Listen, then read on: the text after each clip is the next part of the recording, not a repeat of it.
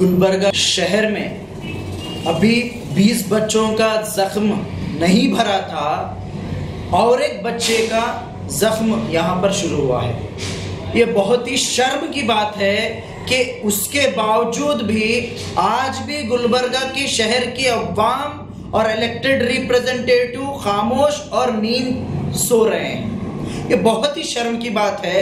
जिन कुत्तों कुत्तों के झुंड ने 20 बच्चों के ऊपर जो हमला किया था एक महीना पहले, आज फिर लगातार हर दिन रिपोर्ट हो रहा है कि एक फलाना बच्चे को फलाना एरिया के अंदर कुत्तों ने काटा है। उसके बावजूद भी आवाम सो रही है। इलेक्टेड रिप्रेजेंटेटिव जो लोग जीत कर ऐवानों में गए हैं कॉरपोरेटर्स हैं एमएलए है डिस्ट्रिक्ट इंचार्ज मिनिस्टर है मेंबर ऑफ़ पार्लियामेंट है कॉरपोरेशन है, डीसी है डिप्टी कमिश्नर है, ये तमाम इदारे खामोश नींद सो रहे हैं। ये क्यों ऐसा हो रहा है? क्योंकि हम लोग खामोश हैं। हमारे लोग आज अवाम के अंदर बेदारी होने के बावजूद भी सोशल मीडिया के ज़रिए से, तमाम ज़रिए से बेदारी मुहैया होने के बावजूद भी फिर भी ऐसी खामोशी क्यों है, समझ में नहीं आ रहा है। बीस बच्चों के ऊपर जब हमला हुआ, एक एमरजेंसी की तरह गुलबर्गा डिस्ट्रिक्ट एडमिनिस्ट्रेशन जो हॉस्पिटल है, वहाँ पर एक इमरजेंसी की तरह हालात हो गई थी।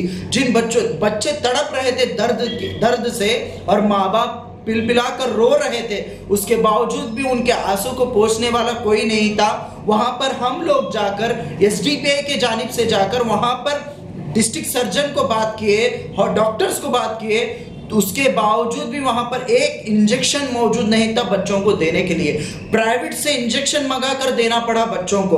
तो ऐसी एक हालत हमारे पास है, जहाँ पर इमरजेंसी केसेस को हैंडल नहीं कर सकते। उसके बावजूद भी आज भी गुलबर्गा कॉरपोरेशन के कुत्ते आम खास सिटी में फिर रहे हैं। क्यों हम लोग खामोश हैं? देखिए हाल 11 तारीख को जो रिपोर्ट हुआ कि एक बच्चे को, मासूम बच्चे को कुत्तों ने काटा।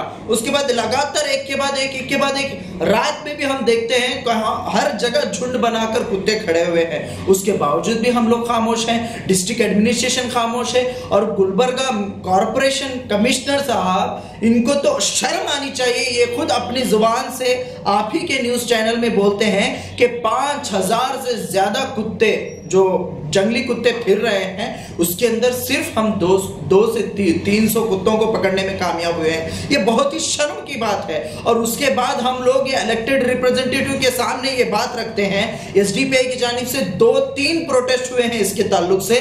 कुत्ते काटने से पहले हम लोग मेमोरेंडम दे रहे हैं। उसके बावजूद भी गुलबर्गा कॉरपोरेशन और डिस्ट्रिक्ट एडमिनिस्ट्रेशन सोया हुआ है। ये बहुत ही शर्म की बात है। और ऐसा अगर हम सवाल पूछते हैं तो ये लोग ये कहते हैं कि हम केरला से एक टीम को बुलाए हैं। क्यों काम नहीं हो रहा उसके ऊपर?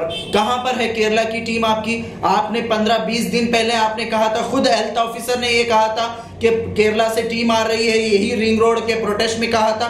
कहाँ है आपकी केरला की टीम वो कुत्ते जो काट रहे हैं, वही कुत्ते गलियों में फिर रहे हैं। उसके बावजूद भी हम लोग खामोश हैं। ये बहुत ही शर्म की बात है। आज इन गरीब बच्चों के ऊपर जो हमले हो रहे हैं, जो गरीब बच्चे जो सरकारी स्कूल में पढ़ते हैं, जिनके पास इलाज करने के लिए एक रुपया भी नहीं है, ऐसे लोग जो ऑटो चलाने वाला उनका बाप है और माँ घरों का काम करती है, ऐसे बच्चों को कुत्ते काट रहे हैं। तो इसके मुआवजा गुलबर्गा कॉरपोरेशन और डिस्ट्रिक्ट एडमिनिस्ट्रेशन कितना लगा रहा है? सिर्फ़ बीस हज़ार रुपए एक मासूम बच्चे जो जान अपनी गवा रहा है, उसको बीस हज़ार रुपए आप लोग दे रहे हैं। चार बच्चे सीरियस हुए।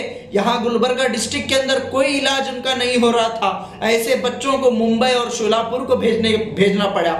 इनको कितना खर्च आया मालूम है आपको? साठ से सत्तर हज़ार रुपए इन लोगों को खर्च आया है। उसके बावजूद भी गुलबर्गा कॉरपोरेशन खामोश खड़ा है।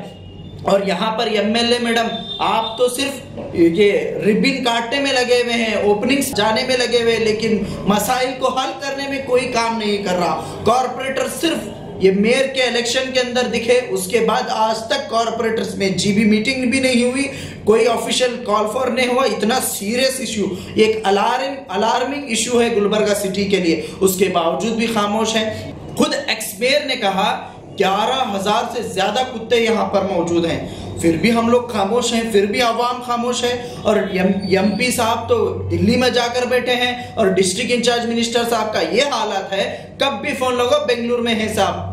दूसरे कौन है? गुलबर्गे को कौन चला रहा है? गुलबर्गे के इश्यूज़ के ऊपर कौन बात कर रहा है? सिर्फ़ बीस बीस हज़ार रुपए चेक देने से मसला हल होता समझकर ये हरकतें कर रहे हैं गुलबर्गा कॉरपोरेशन और उसके अलावा गुलबर्गा कॉरपोरेशन का जो सबसे बड़ा इशू है जो स्ट्रे डॉग्स का है, ये स्ट्रे डॉग्स के इश्यू को खत्म करने के लिए प्लास्टिक का इशू ये लोग लाए हैं। और प्लास्टिक के इशू को ये लोग लेकर मैं इनसे पूछना चाहता हूँ, प्लास्टिक जब बैन है तो आपके लीडरों के बैनर टिम्मापुरी से लेकर कॉरपोरेशन सर्कल तक क्यों लग रहे हैं? ये मेरा सबसे सब, सबसे बड़ा सवाल है।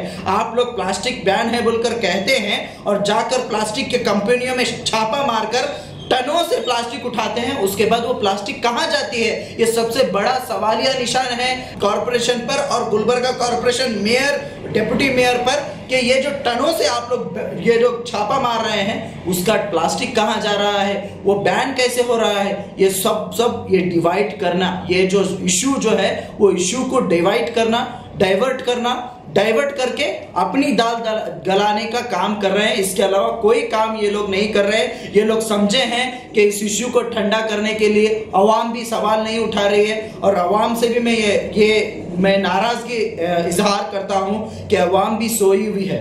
अवाम, जब तक तुम्हारे खुद के बच्चों को कुत्ते नहीं काटेंगे, आपके भी दिल में वो रहम और वो करम वो नहीं जागेगा, ऐसा मुझे लगता है। क्योंकि गुलबर्गा के अंदर जिन बच्चों को काटा है, वो बच्चे हैं सोनिया गांधी कॉलोनी के, जमजम कॉलोनी के, मिल्लत नगर के, आज़ादपुर रोड के और यतीम खाने के। ऐसे एरिया जहाँ पर स्लम एरिया है, मौलाली कट्टे के, ऐसे गरीब तबके के वो बच्चे हैं, इसीलिए आप लोगों को फ़िक्र नहीं है। कल के दिन अगर जीडीए में, संतराशवाड़ी में खाजा कॉलोनी में, हुसैन गार्डन में बड़े बड़े जहाँ पर बिल्डिंग्स हैं, वहाँ पर ये कुत्ते काटेंगे, तब आप लोगों को होश आएगा, तब आप लोग इसके बारे में आवाज़ उठाएँगे, मुझे ऐसा लगता है। और social democratic party of India S पे हमेशा मजलूमों, गरीबों और इन लोगों के साथ रही है और हमेशा इनके साथ रहेगी कंधे से कंधा मिलाकर साथ रहेगी। और हम लोग तीन से चार प्रोटेस्ट इसके ताल्लुक से किए हैं, लेकिन इस बार प्रोटेस्ट पे प्रोटेस्ट नहीं, इस बार बहुत बड़ा हम लोग एक मूवमेंट ही चलेंगे गुलबर्गा कॉरपोरेशन इलेक्टेड रिप्रेजेंटेटिव्स के खिलाफ। ये जितने भी कॉरपोरेटर्स जीत कर जाकर बैठे हैं, ये नाहल हैं, ये लोग वहाँ पर कॉरपोरेटर बनने के काबिल भी नहीं है, सिर्फ़ ये लोग कॉरपोरेटर नाम के हैं और अपनी नाम, अपना बड़े बड़े पोस्टर्स अपने बड़े बड़े बैनर्स लगाने के सिवा कोई काम नहीं करते।